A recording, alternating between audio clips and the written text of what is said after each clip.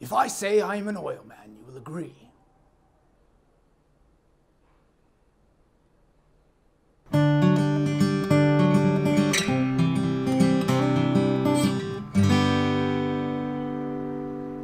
After running low on oil, as I am, going to want to turn the bottle upside down and let it drain. It's called drainage. Let's talk about bread. I believe that every man, woman, and child should have a good loaf of bread, something crusty, but with a dense crumb, such that you can dip it in the oil, drink it up, drink it up. Now, I like to flavor my oil, so I've cut up some chives today, and what I'm going to do is I. It's all right. Just going to abandon them.